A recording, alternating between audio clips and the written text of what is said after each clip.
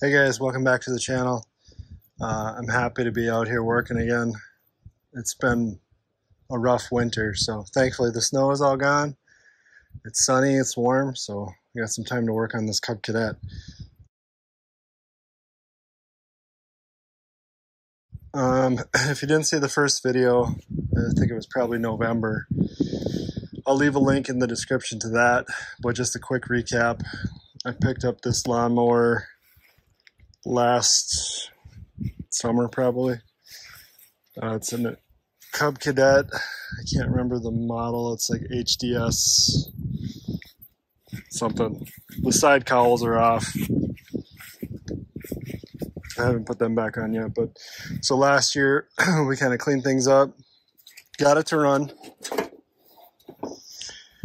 and then I gave it a bath with the pressure washer it had pretty extensive oil leak and I couldn't figure out where it was coming from. So I, I pulled the whole engine out, washed it off as good as I could, and uh, just figured I'd let it sit and see where it was leaking from.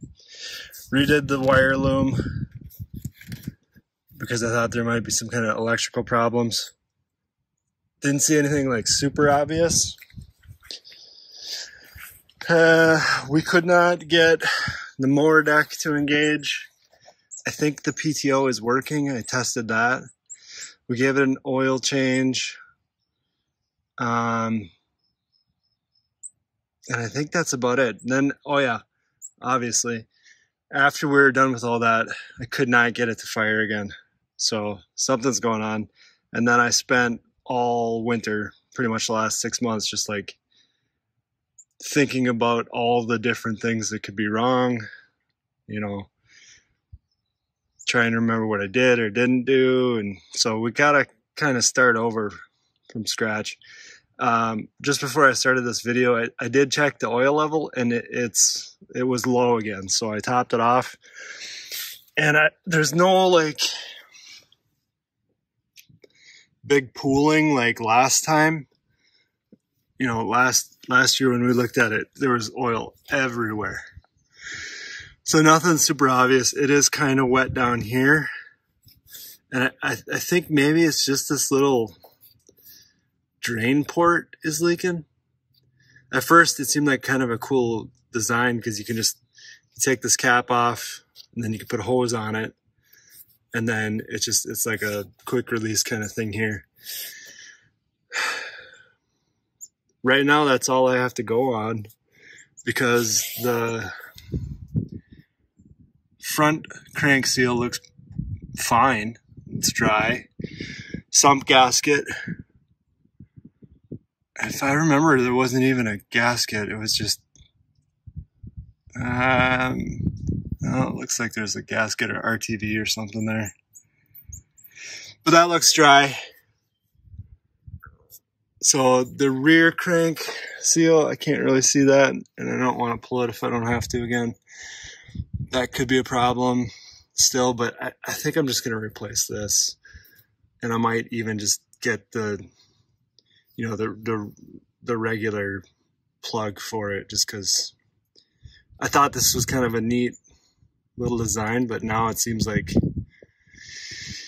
a potential problem source.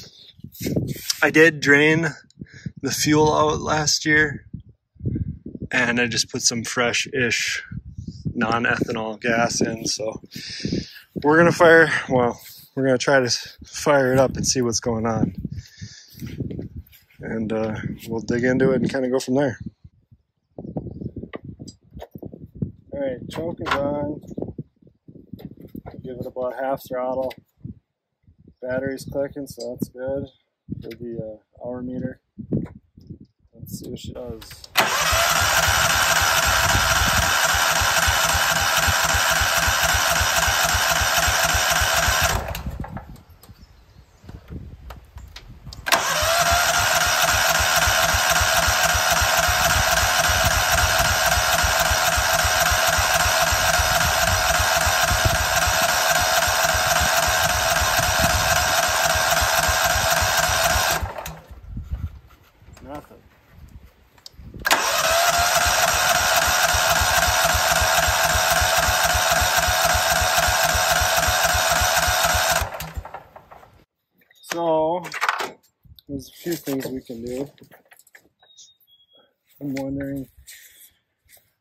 We should check for spark first, and then I wonder if I put this fuel filter in backwards.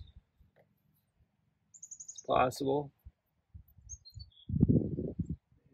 It's got a little arrow on there that indicates the direction, so it looks like it's right. Um, yeah, let's check for spark first. All right, so I got my spark tester set up here in line. So this should light up if we have spark.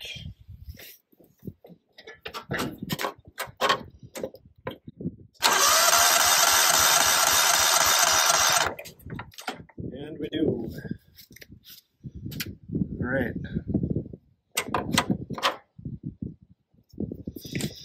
So that's good.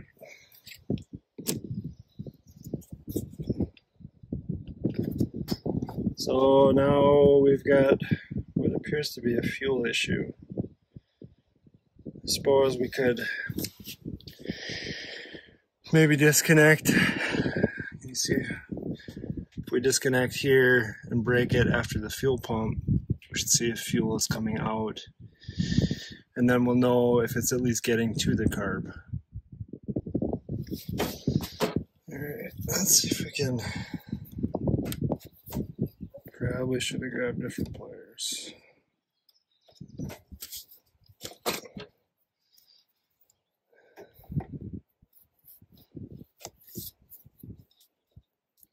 Oh, that's tight.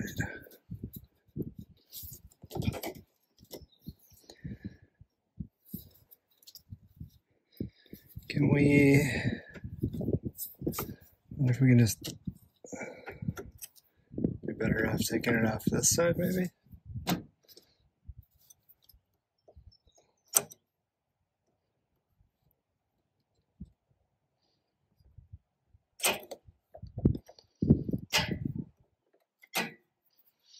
Yeah, you guys are kind of in the way.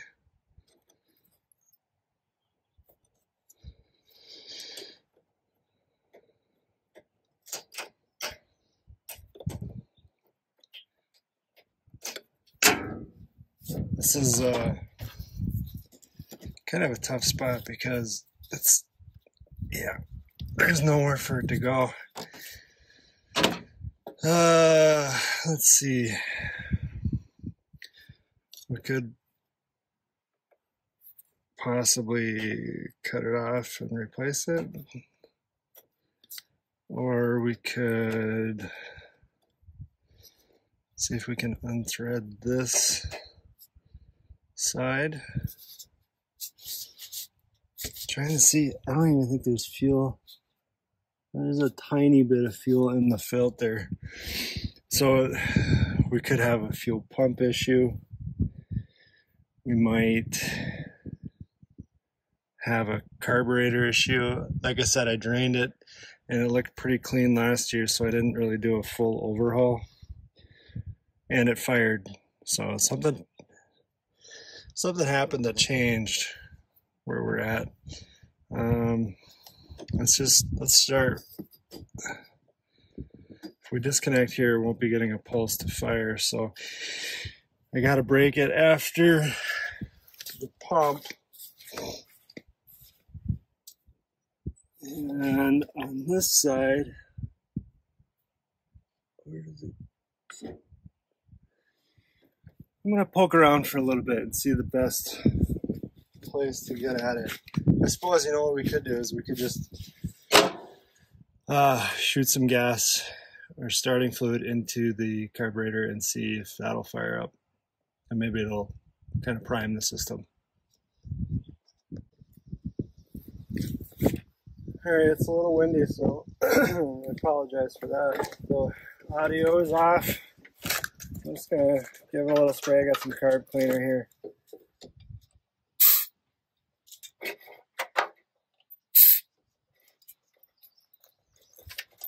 Course, it's helpful if a little nozzle stays on. The air cleaner plate kind of blocks the carb on this one, and I don't want to take it off if I don't have to. Alright. Let's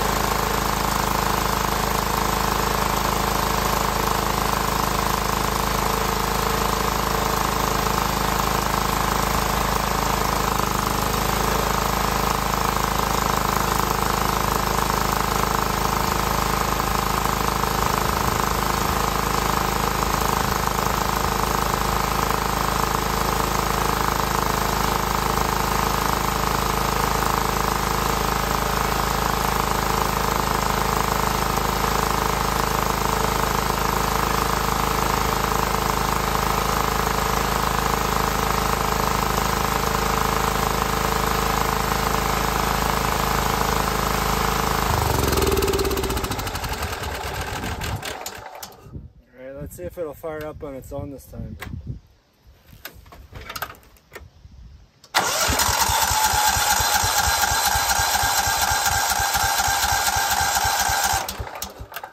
Hmm.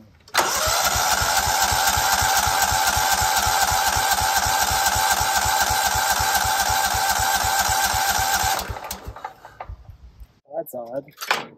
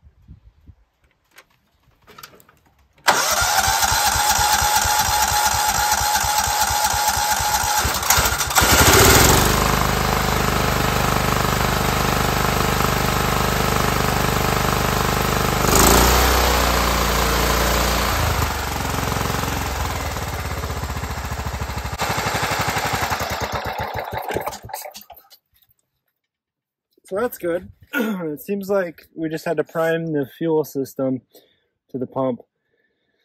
And that little shot of uh, carb cleaner was enough to get it fired. I'm not sure why it wouldn't start up on its own the second time, but it might just need to run for a little bit and kind of clear itself up. Um, I'm going to get some things kind of cleaned up. I'm going to button up the air cleaner and then we can test the mower deck. Okay, hopefully this time it'll start up on its own.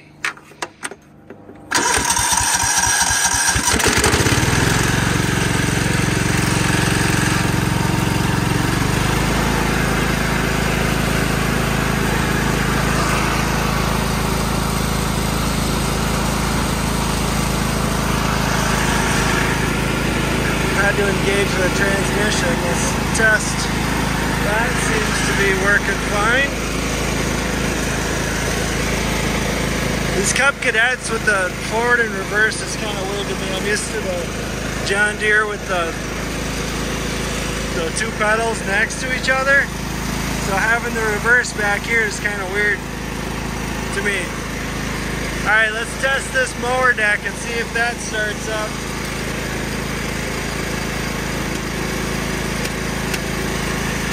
Nothing. Alright, we still got some work to do.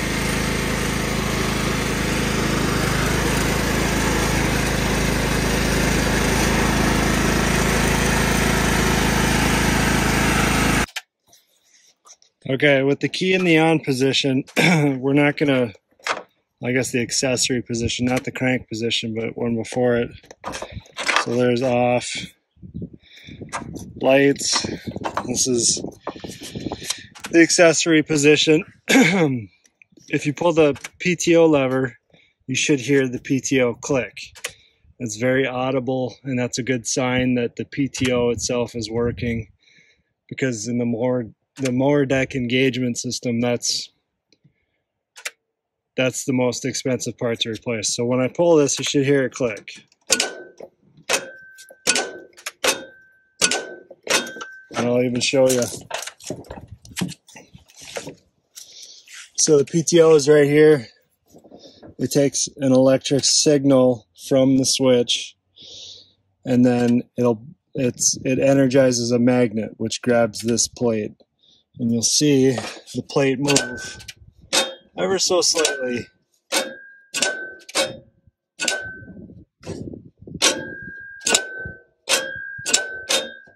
So the PTO should be working. So I'm not sure if it was just stuck or if we have a faulty safety switch. So I'm going to fire it up again and we'll try to engage the PTO again and see if it works this time.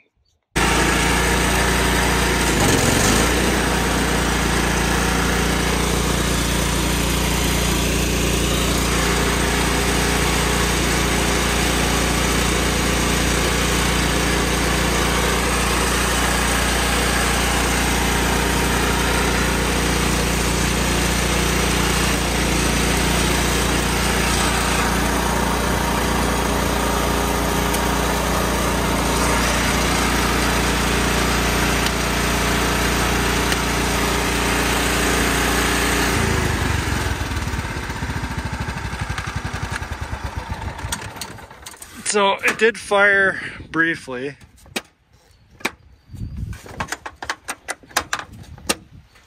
And now we don't have PTO. All right, so we have an electrical problem. Could be a safety switch or it could be the uh, terminals on the PTO are dirty or the PTO switch terminals are dirty. So we'll have to dig into it and take a look. All right, I just pulled the uh, PTO switch apart, cleaned all the terminals in there, and uh, let's test, see if we have power again.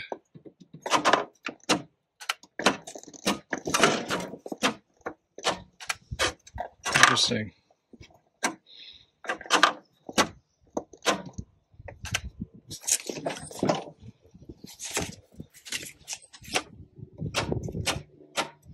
We do not. Alright, this is the weirdest thing. I don't even know how to explain it. Um, I cleaned the terminals, tested the PTO, and it was clicking with the battery off. So I went and put my stuff away, came back, fired it up, nothing.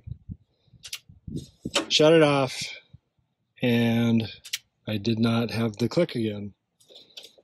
So I went deep, deeper down the rabbit hole, anyways. I took this front cowl off, which that was a blast. it has all of these little retaining tabs that you have to bend out to get it out. And of course, it's super inaccessible. But the reason why is because I wanted to get at the reverse safety switch. You can see it, it's right down there. From what I had read last year, this switch, if it's faulty, can prevent the mower deck from engaging. So I did all that, and then now all of a sudden I have voltage going to the PTO. So I can't explain that. Since I'm in this far, I'm still going to take that uh, reverse switch out and clean it. Just because it's something intermittent like this, it makes me think that there's just a bad connection somewhere. Otherwise, if that still is giving me intermittent problems, I'm fairly confident that the PTO itself is good because it does click when it receives power. It's just that there's a there's a problem somewhere in the wiring. Uh, last year I did replace this relay. The old one was all bubbled and kind of bulging. So if cleaning the um, reverse switch doesn't work, I think I'm gonna just replace the the PTO switch. Um, it could have an internal failure, even though I cleaned the terminals. That could very well be the problem. So we will. In the meantime, I'm just gonna take this reverse switch out and clean it. And I can't really. There's not a good way for me to get uh, you guys in there I kind of need both hands and it's a tight space. So I'll bring you back when I have that all cleaned up. So here's that reverse switch. When you engage the reverse pedal, it has a little lever underneath the frame that pushes up on this plunger. And then it must short out. So that way I can't engage mower deck. So theoretically, I mean, this lives in a pretty dirty environment. You know, it's right above the mower deck, so there's a lot of dirt and debris. So theoretically, this if this plunger was sticking, perhaps that could cause the intermittent issue. And then the other side of the uh, of this connection, I got to clean that up too. So I'm gonna clean those up. And then I'm gonna have to think about it. If we still don't have power or we have intermittent power loss to the PTO, I'm gonna have to trace some of the electrical stuff. I'm gonna order a new PTO switch if that's the case, and I have to order a new drain plug. But I'm gonna get this thing put back together, kind of buttoned up, and then we'll give it a bath. It's pretty dirty just from sitting and kind of reassess where we're at after that. All right, well, that looks a little bit better. I got the side cowls put on. Everything's cleaned up, washed up. I even used some super clean degreaser to help get the stubborn stuff on off. Having a hard time. There's some sun fading on here. I think I'm gonna do a wax. Let's see if that kind of blends out. Um, I was gonna look at getting some touch-up paint. There's some spots here where the paint is chipped. It's like crazy expensive, so for the actual Cub Cadet branded touch-up paint. So I might just see if I can match something. Um, but for now, I'm gonna let this uh, dry off, work on a few other things. Then I'll come back and make sure that it still runs and we'll try the PTO one more time. I think I'm still gonna order a switch, see if it works. All right, I'm gonna let this dry and I'll come back.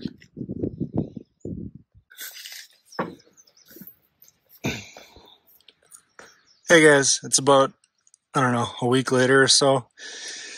I've been kind of picking at this project when I had time, but I, I didn't really have a lot of uh, consecutive time, I guess, to really work on it. So just still trying to diagnose this electrical problem. Put a jumper from directly from the battery to the PTO and it clicked over just fine. And I've been just at my wits end trying to figure this out but I think I got it. So first thing, the I've got a jumper in here for the reverse relay. Um, the brand new relay that I got, I should have tested it, um, tested for uh, continuity, and it was bad. So I got a new one coming. So that was the first part. So I thought after I put this jumper, this jumper essentially bypasses the relay switch uh, or the re- the reverse relay. And so I threw that in, thought that would solve the problem. Still not getting voltage at the hot wire of the the red one here of the PTO. So this is kind of a, a different design. It's uh, 100% power and then the ground is interrupted in order to break power or break the circuit to the PTO. So that was a little bit different trying to wrap my head around that. Um, but whenever the key is in the run position, this red wire should have 12 volts to it. So then I found, even with this jumper in the relay, I still wasn't getting voltage here. And in the the service manual, the troubleshooting says, if that's the case, like step one is, do you have 12 volts at the red wire? If not, then there's a break in the wire somewhere. So I had to undo all the loom wrap that I had put on, got everything taken apart in the whole harness, and still couldn't find anything. There was no obvious break or anything. The only thing was I had redone. Uh, the previous owner must have clipped these two wires for the PTO harness, and they had spliced it with just uh, uh, what do you call them? Wire nuts. So I put on some shrink tubing and some solder butt connectors, thinking that would solve the day. Well, since I didn't have anything else going on, like I, I had no other, you know, obvious breaks or anything in the wire, I clipped this back, cut it out, and redid it. And now, with the key in the run position, if I pull the PTO switch, I have voltage. So that should be good. Should be. I'm gonna wait. After I get this relay, should be coming tomorrow. I'll throw that in and that should be fine. The other thing was I was having a hard time starting it. Uh, it wanted to have a little spray to start and then it would run fine. So I knew there was probably a fuel issue. I hadn't cleaned the carburetor because it looked pretty clean.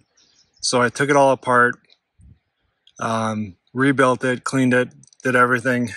And now it fires up like this.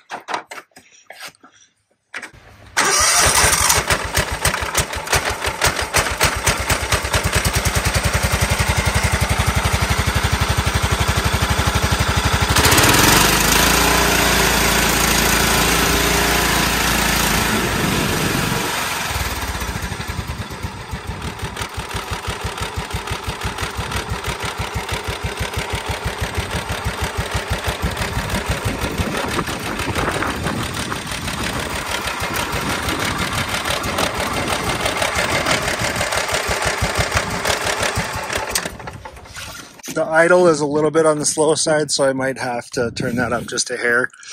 The other thing is uh, this choke lever. The cable runs through here onto here, and then there's a linkage that goes back to the actual choke valve. And this was getting bound up behind the plate for the air cleaner. So I had to manipulate it a little bit in order for there to be clearance. So what was happening, and the reason why I wasn't able to start it was when you pull the uh, choke lever, there was too much interference and so it wasn't actually closing the choke valve all the way. So it wasn't actually choking the carb. Now that that's all cleaned up and working correctly, the choke will close and it'll start on a cold start. So everything is looking pretty good. I just need to get that uh, relay. And then for today, now that everything is more or less solved, I'm just going to button up all this wiring and put that loom wrap back on and we should be done. So it's a couple days later. Got everything, the loom wrap all redone and serviced the deck. I didn't film that because it's pretty straightforward. Everything was ready to go. And let's see how she runs and operates now that I have the relay put in. Uh, we can test the PTO and go from there.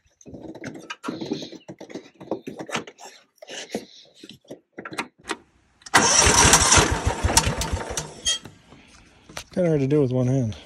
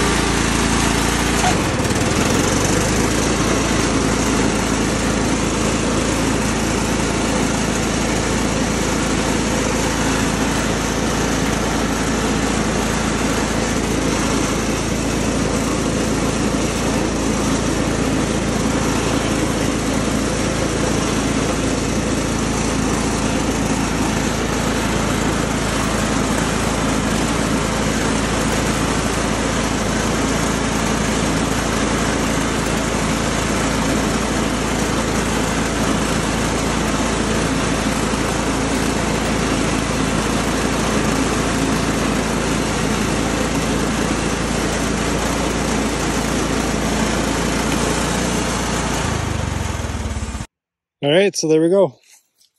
All in all, it's a pretty sweet machine. I think this is 98 or 99 it was built. Probably 99. Uh, I did not do any painting. Just the, I did a little uh, Plasti-Dip repair on the seat cracks. I think I forgot to mention that. All in all, it's pretty sweet. The uh, Kohler engine runs pretty quietly. It idles nicely. Um, and with that relay fixed, the PTO is working. So I'm happy about that. I posted this thing on Marketplace, and within 12 hours, I had 20 people interested. So I've actually got a guy coming tonight who's going to take a look at it, and he should be here shortly. So um, if you guys have any comments or questions, please let me know in the comment section below. And until next time, thanks for watching.